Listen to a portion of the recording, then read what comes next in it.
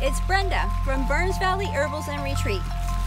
Welcome to the perfect place for your mind, body, and soul.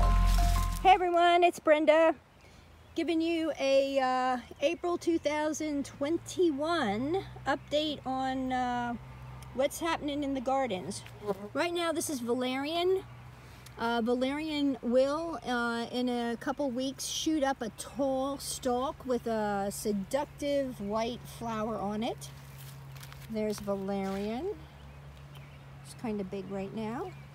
Right aside of it is wormwood artemisia absinthe. Um, this is very good to uh, make tinctures out of for digestive issues and to rid of worms. Uh, and also if you do have a distiller, this is the one that you could distill for uh, some absinthe. Uh, right next to it, or across from it, there's some feverfew, which is wonderful for particular uh, migraine headaches. Uh, you can eat the leaves in a salad or in um, a sandwich. Um, and right up from that is Horehound. Horehound is wonderful. It's great for uh, making uh, cough drops. So you will uh, really appreciate having Horehound around. Uh, you can also uh, make it into a tea. It is kind of bitter, so you definitely have to sweeten it. Uh, here's some anise hyssop.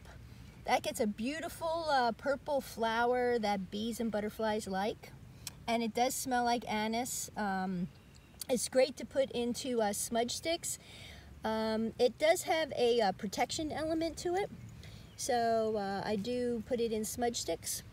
Uh, some more feverfew, got lots of that. Here we got some um, purple coneflower. This one is Echinacea angustifolia.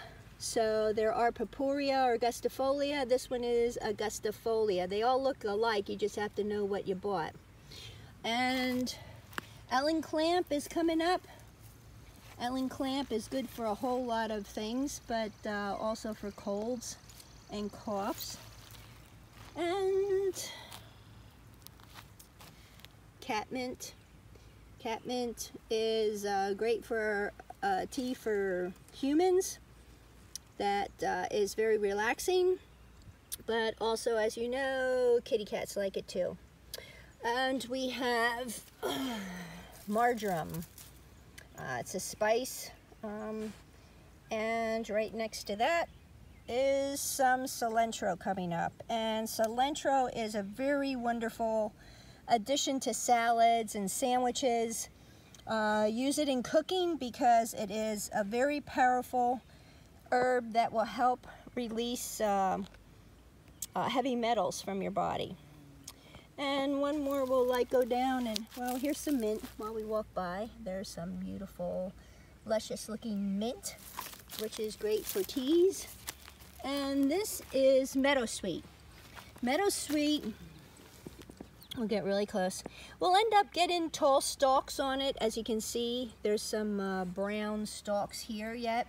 And then it gets real pretty flowers on the top. Meadowsweet is something that uh, used to be used more heavily uh, before uh, aspirin became popular.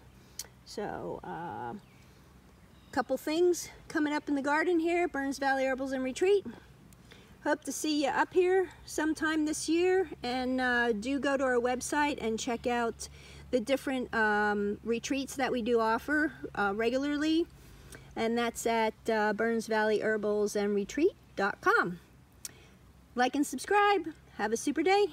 Bye.